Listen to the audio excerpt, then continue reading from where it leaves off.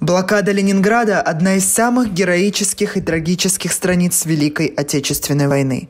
Она длилась с 8 сентября 1941 года по 27 января 1944 года. Ровно 900 дней страданий, голода и холода, мужества и стойкости – «Земля бесстрашная. Невский пятачок».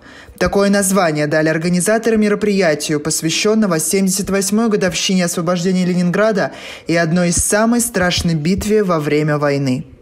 В эти дни мы обращаемся к подлинным документам о подвиге Ленинграда и понимаем, что то, что пережили те люди, невозможно пересказать, оценить и даже понять, как можно было в холод и голод, теряя родных изо дня в день, выжить и сохраниться.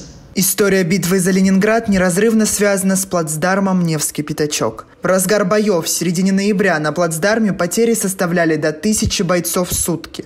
После завершения Великой Отечественной войны это место стало символом народной стойкости и отваги.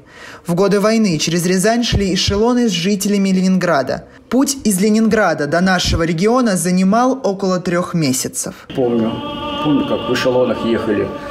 Раньше ведь месяцами ехали от Питера до Рязани некоторые ехали три месяца, чтобы попасть в теплушках. Вот они их, потому что встречные пропускали поезда на, на, на фронт, а эти ехали так. Нас эвакуировали в Среднюю Азию, мы в Уфе сами пересели, потому что блокада у меня умерла сестра, дед умер, в войну погиб отец, бабушка, мать и я пересели поезд, поехали в Красноярск, где у мамы жил брат. В 55-м приехал в Рязань поступать в институт политехнический, в радиоакадемию.